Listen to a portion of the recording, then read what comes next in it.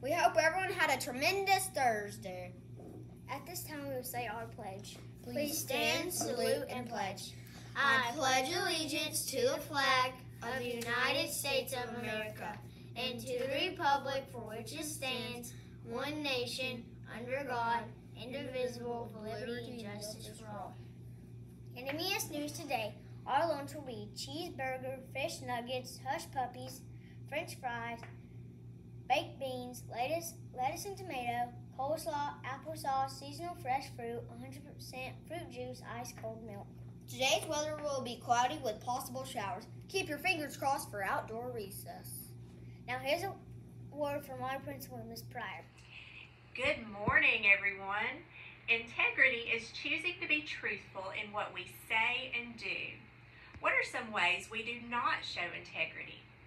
Some examples might be cheating on a test, copying a friend's assignment, or even telling our teachers the dog ate our homework. We are not being true to ourselves when we are dishonest. When we show integrity, we are being truthful in what we say and what we do. I hope everyone has a great day. That's all for our show. Have a great day and a fun fall break, MES. And if no one has told you today, You're!